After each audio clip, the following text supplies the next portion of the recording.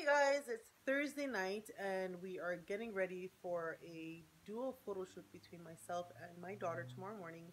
And then Soraya has another shoot at 3 o'clock. Um, so this is her now. She is waiting for her nails to dry. Say hi, Soraya. Hi. Are you ready for your modeling tomorrow? Tomorrow. and our clothes are already packed and ready to go. We need to get our beauty sleep and uh, we will uh, keep you posted tomorrow. Say good night. Good night. good night.